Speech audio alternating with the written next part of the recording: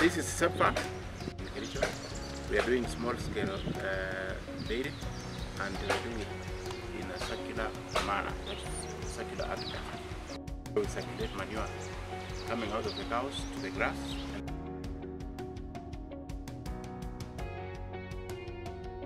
And then bring grass to the cows to circulate the nutrients.